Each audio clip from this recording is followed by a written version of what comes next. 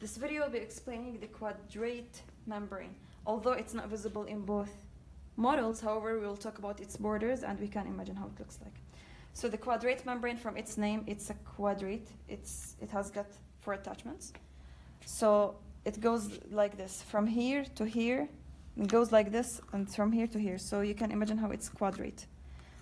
So anteriorly, it is attached to the side of epiglottis. Posteriorly, it is attached to the arytenoid cartilages. And then it goes like that.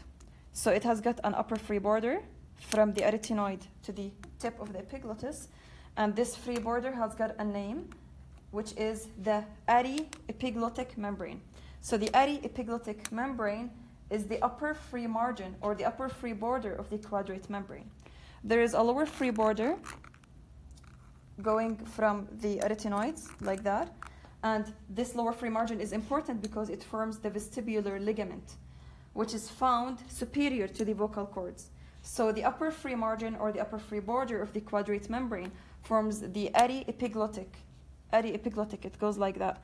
Ary-epiglottic uh, ligament. And inferiorly, its lower free margin forms the vestibular ligament.